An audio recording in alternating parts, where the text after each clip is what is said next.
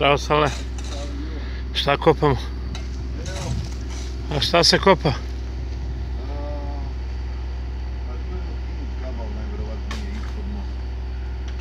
Sad kad je radio. A sad dole smo ga našli ispod mosta gdje skopamo za toplu. Aha. A ujedno da iskoristimo da se taj kabal preveže. Jer najvjerovatnije on produžava, ide ispod ovaj železnički pa produžava dole za one. Prema... Aha. To li je elektrokabel? Aha, aha. Ali to je još kad su temelji rađeni za most. Kao nešto je saniran, ali bolje da se pušti još jedan čisto, što kažu za svaki slučaj. Pa gdje je kabel? Evo ga ovdje, on ide od, od svetiljku na svetiljku. Aha. Ispod, ispod stopu. Je to neki naš interni dogovor da se pusti nov kabel i da mu neki... Da, da.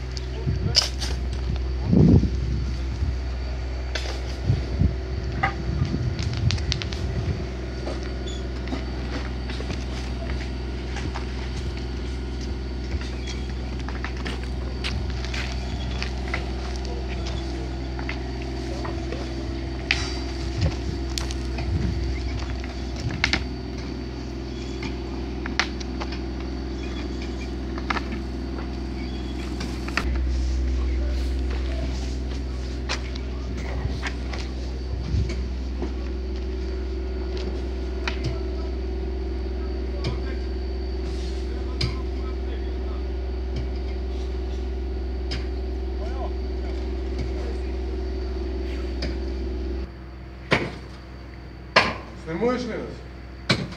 Нема јас. Шта копате? Јаму. А, за? Па чекай, тоа основно што причам. Тако е. Толи за топ... За себе за грејање. За топлот? Да. Браво.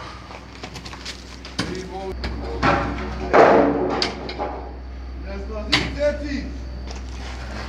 Не слади! Не слади, само ме врташ назад, јеболи се, Бог.